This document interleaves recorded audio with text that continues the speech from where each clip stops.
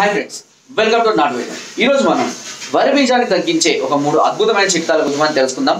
వరి బీజం వల్ల చాలా మంది కూడా ఇబ్బంది పడుతుంటారు. కొద్దిగా పొడుస్తున్నట్టుగా పోటు ఉంటుంది నొప్పి ఉంటుంది నడవాలన్న ఇబ్బందిగా ఉంటుంది. కొంతవరకు ఇది అసౌకర్యంగానే ఉంటుందని చెప్పవచ్చు. ఈ వరి బీజాన్ని కనుక నెగ్లెక్ట్ చేసినట్టయితే ఇంకా బీజాలు వాపు వచ్చి ఎక్కువగా నీరు వచ్చే అవకాశం కూడా ఉంటుంది. ఇలాంటి సమస్యలతో మీరు స్టార్టింగ్లోనే బాధపడుతున్నట్లయితే కనుక ఇప్పుడు నేను చెప్ప మూడు మూడు చిట్కాలు ఏ చిట్కా ఫాలో అయినా సరే ఖచ్చితంగా ఈ వరి బీజం వల్ల వచ్చినటువంటి వాపు నొప్పి అనేది పూర్తిగా తగ్గిపోతుంది.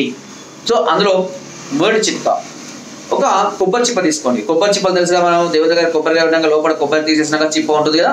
ఈ కొబ్బరి చిప్పలు ఏం చేయండి అంటే ఒక పసుపును నీ కొద్దిగా నీళ్ళు పోసి మంచిగా ముద్దలాగా చేయండి పసుపును.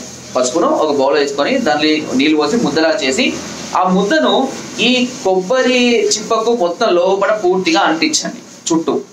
అంటించిన తర్వాత అప్పుడు చిన్న సైజ్ తీసుకోండి అంటించిన తర్వాత ఆ కొబ్బరి చిప్పను కొద్దిగా వేడి చేయండి. వేడి చేసి బీజాలను ఆ కొబ్బరి చిప్పలో పెట్టేసి ఒక క్లాత్ ఒక క్లాత్ తోటి కట్టేసేయండి కొంచెం ఇబ్బందిగా ఉంటుంది ఏదైనా కుచ్చుకోపోకుండా చుట్టూ క్లాత్ తోటి మేనేజ్ చేసుకోండి. ఓకేనా? ఇలా ప్రతి రోజు కనుక చేస్తుంటే కేవలం ఐదు నుంచి ఆరు రోజులనే ఈ వాపు నొప్పి అన్ని కూడా పూర్తిగా తగ్గిపోవడం జరుగుతుంది. దీంతో పాటు రెండో చిట్కా. ఆవ నూనె.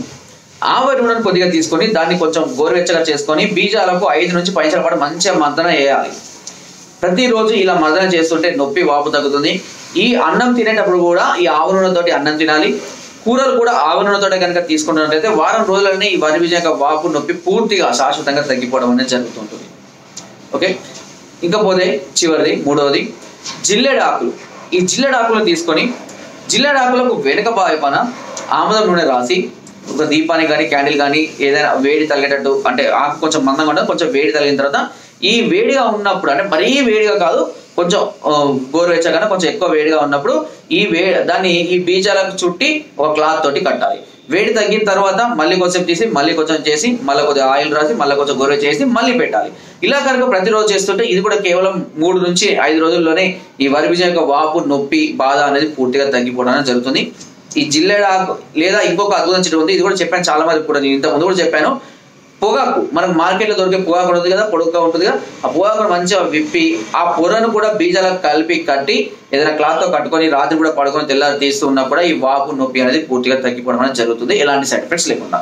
సో ఫ్రెండ్స్ మీరు మరైతే దీర్ఘకాలిక సమస్యలు కనుక చాలా రోజుల నుంచి బాధపడలేదు వెంటనే మమ్మల్ని సంప్రదించవచ్చు. ఫైనాన్స్ కోత నెంబర్స్కి ఫోన్ ద్వారా వాట్సాప్ ద్వారా లేదా కింద డిస్క్రిప్షన్ ఉన్న మా యొక్క అడ్రస్ కూడా నేరుగా వచ్చి మమ్మల్ని సంప్రదించి మీ అన్ని రకాల సమస్యలకు సలహాలని సూచనలు మెడిసిన్స్ కూడా పొందవచ్చు. నా వీడియో కనుక మీకు నచ్చినట్లయితే ఒక లైక్ ఒక షేర్ చేయండి. మరిన్ని వీడియోస్ కోసం సబ్స్క్రైబ్ చేయడం మర్చిపోకండి. మీ అమూల్యమైన సలహాలని సూచనలు నాకు కామెంట్ ద్వారా తప్పకుండా తెలియజేయండి థ్యాంక్ యూ